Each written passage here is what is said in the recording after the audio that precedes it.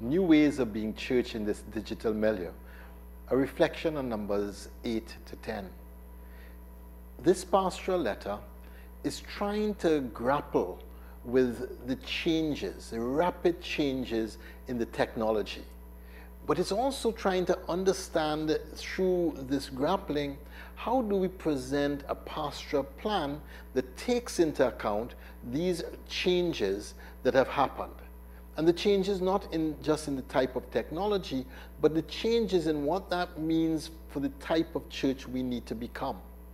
And so as you reflect on this pastoral letter, I invite you to think of how you have changed when you have changed your technology. Over the last five years, technology has changed dramatically.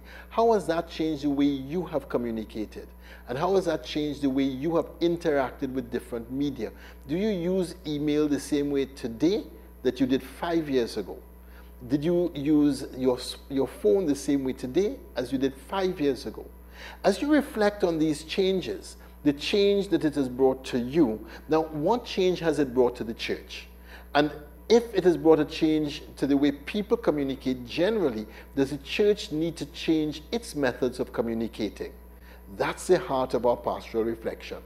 And having understood that, then we must understand that these rapid changes that we celebrate have brought a new way of being church, a new way of thinking, and a new way of understanding what it is to be church in this new millennium.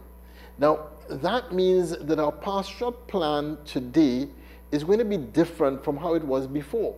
Because if we keep doing the same things that we've always been doing, then we're not going to communicate effectively to the people of this generation.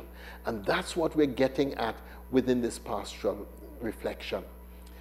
If there is this rapid change, if we are communicating differently, then we need to have a conversion of heart to this new way of being church. We have to change the way we communicate. We have to change the way that we reach out to other people.